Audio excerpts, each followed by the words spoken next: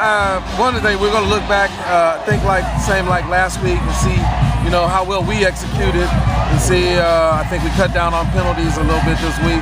That was our goal. Try to get the penalties down and see if we can run plays consecutively without making mistakes. So we'll look at the film, see see how we did, you know, and uh, that's how we're going to grade it. Uh, the score was not going to be an indication of whether we played well or not.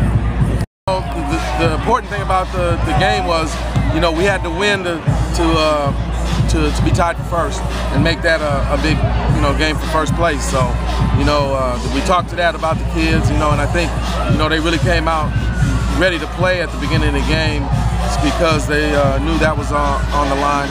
And now, you know, we get our chance to see uh, what, what we can do against.